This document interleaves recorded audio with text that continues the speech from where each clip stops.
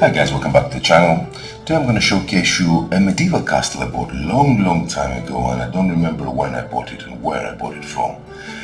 For my 15mm, this castle came resin and I basically painted it black and then I dry brushed it with white and then some other earthy colors.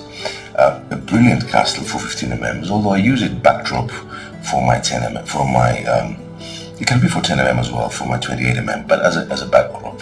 So let's see how it looks. This is the main portcullis gate. As you can see here, basically I painted black and then I dry brush it with white and some other uh, different colors. Uh, nothing, just took me 10 minutes. Very nice castle. This is the, the gate from the back. I don't remember from where I got it. I wish I could. If I try, I'll put it in the description. If I remember, I'll put it in the description. So this is the main gate. Here we have um, the um, the walls. Again, dry brushing with the different colors. Very nice. And from inside.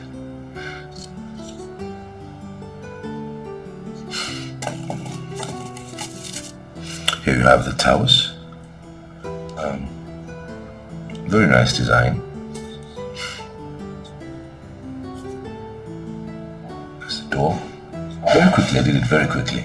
The good thing I like here is that um, you have the option of um, this uh, broken and you know destroyed by siege towers um, walls where you can put them here for example if you want.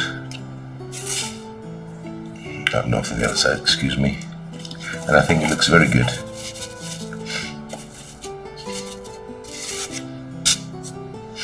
I think it looks very good yeah, you have two. I think there are about two here. This is the second one. Again, uh, destroyed and rubble here.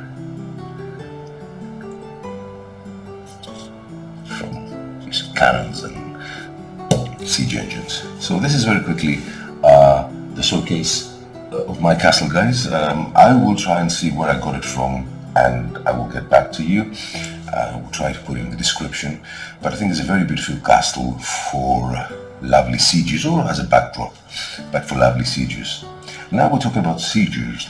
Sigils are missing obviously from the hobby, but I will um, I will showcase you um, next time the tactical medieval rules. I'm not going to talk about the rules because they're you know basic, nothing special there, but they have really brilliant um, siege that uh, I would like to show them to you.